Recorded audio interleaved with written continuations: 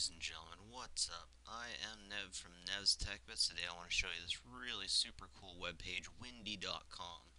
Windy.com is a really quick loading webpage that shows you all over the world exactly what way the wind is blowing.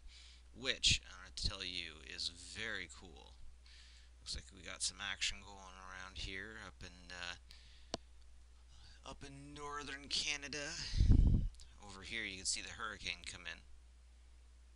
Hurricane Harvey had just left.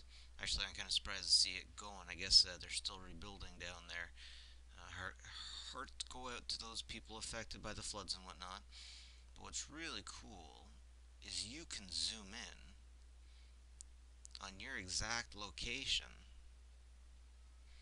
and see which way the wind is blowing.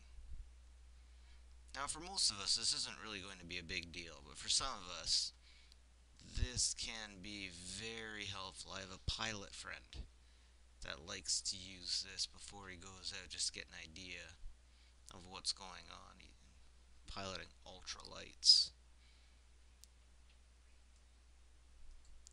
Pretty cool. Let's zoom back a little bit more and look at a hot spot maybe, shall we?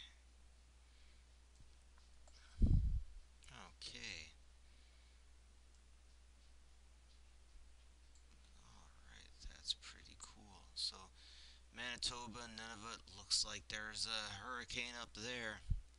This is pretty much what a hurricane looks like, but honestly, I never heard anything about this one in the news.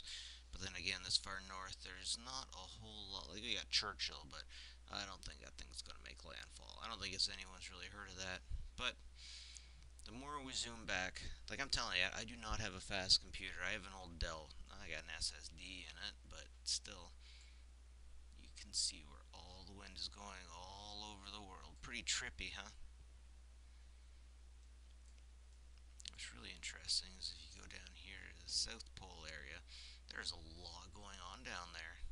Those looks like really turbulent areas. I wonder why in the south but not in the north. They must get some pretty crazy hurricanes over here. But yeah, that's it. Windy.com. Look at the way the wind is blowing all over the world. Really simply. Oh, there's another one.